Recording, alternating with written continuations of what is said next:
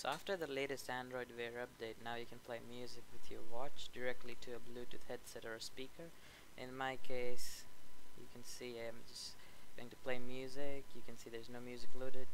Just pair a Bluetooth device by going to settings and Bluetooth device. I got a Logitech X100 here paired. What you need to do is just scroll down in the play music app on your Android Wear, just like that, and open it on your phone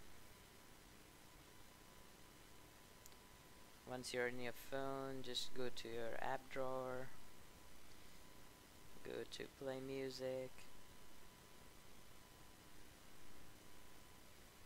go to settings and check download to Android Wear well I will suggest you to reboot your device after doing this. Only then it will sync the music thank you guys for watching and subscribe for more videos like this